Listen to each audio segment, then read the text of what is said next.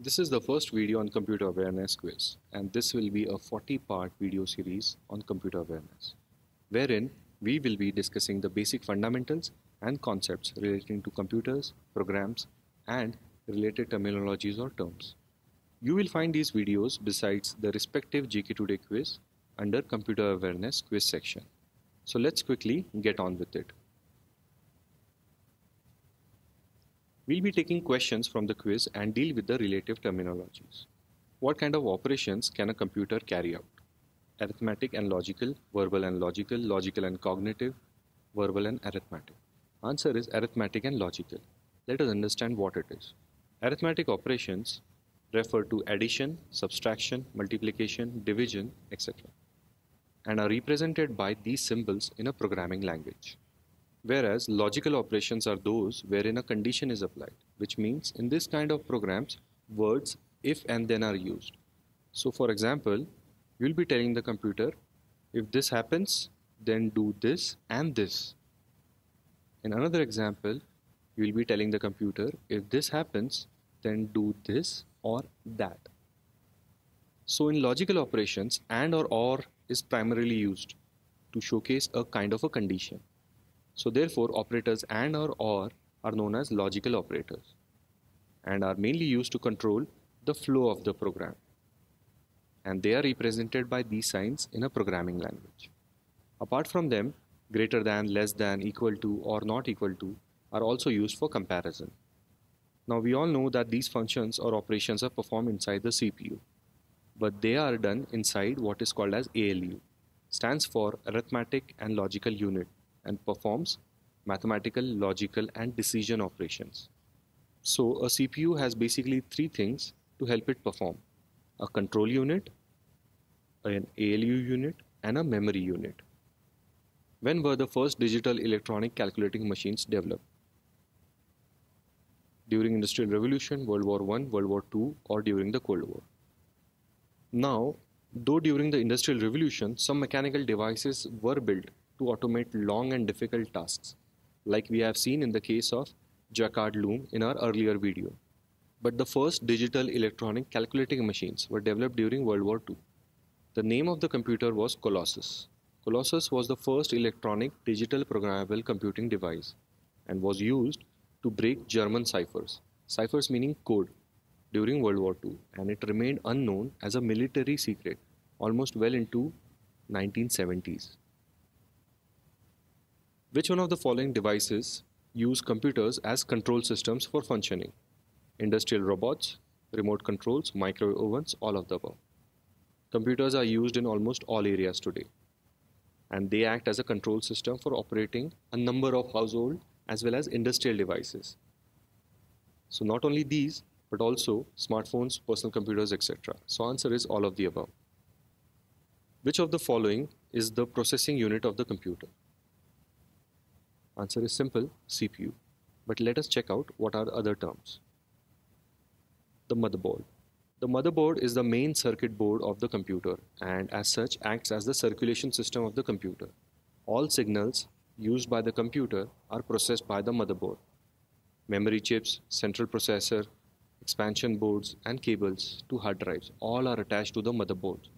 Thus a motherboard is the data and power infrastructure of the entire computer and hence the name motherboard. Which of the following comprise the software components of a computer?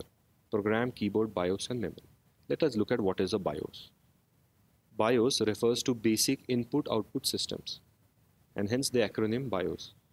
BIOS basically is a program pre-installed on Windows-based computers and not on Macs. Macs have a little different way that the computer uses to start up. The CPU accesses the BIOS even before the operating system is loaded. The BIOS then checks all your hardware connections and locates all your devices like keyboard, mouse, hard drives, etc. So in summary, BIOS software is built into the PC and is the first code which is run by a PC when you power it on. And that is why it is also called as a boot firmware because the starting up process is called booting. Now speaking of programs, there are two categories. One is application programs and is system programs. Application programs usually are called just applications. These are the programs that people use to get their specific work done, like writing letters, playing games, surfing the internet, etc. Then there are system programs which help keep the hardware and software component of the computer running together smoothly. Operating systems like Windows, iOS, Android are best examples of system programs. But system programs is not only limited to operating systems. In fact, networking systems, programming language software, website server, data backups, etc. are also a type of system programs. So as we have seen so far, a computer requires two things to function properly. The hardware part, which is the physical, which you can see, touch, feel, and software part is the virtual part. That is, it is there, but which you cannot see, touch, or feel. Which of the following are indisputable characteristics of a computer? Speed, accuracy, versatility. Well, apart from these three, in addition, it also has reliability, storage, capacity, thus making total of five characteristics. So answer is all of the above. And these are some of the factors which make it such an important part of our lives. In a book of which author was the word computer first mentioned? According to Oxford English Dictionary, the word computer was first used in 1613 in a book called The Young Man's Gleanings by English writer Richard Braithwaite. So answer is 3. When did the online etymology dictionary first attested the use of the word computer, which means as one who calculates? Etymology is the study of the origin of the words and the way in which their meanings have changed throughout the history. The Online Etymology Dictionary first attested the use of the word computer in 1640s. Which of the following is seen as the earliest mechanical analog computer? Well, the answer is second. The Antikythera mechanism in ancient Greek is believed to be the earliest mechanical analog computer. It was designed to calculate astronomical positions and eclipses for calendar. Which of the following devices incorporated a mechanical calendar computer? The answer is Astrolabe. It was said to be invented in the Hellenistic world by Hipparchus. The Astrolabe incorporated a mechanical calendar computer and was used by astronomers and navigators to measure the altitude above the horizon of a celestial body, whether be it day or night. Who is considered as the father of the computer? Charles Babbage, an English mechanical engineer and polymath, gave the concept of programmable computer, and he is considered as the father of the computers. What parts did the first analytical engine incorporate which made it the first design for a general purpose computer? Again, analytical engine and difference engine were by Charles Babbage. Well, the analytical engine incorporated an integrated memory, arithmetic logical unit, control flow in the form of conditional branching and loops, which made it the first design for a general purpose computer. So answer is all of the above. Who gave the first successful demonstration of use of a simplified analytical engine in computing tables in 1888? The answer is Henry Babbage. He was Charles Babbage and Georgiana Whitmore's youngest son. Which of the following is the first example of an electromechanical relay computer?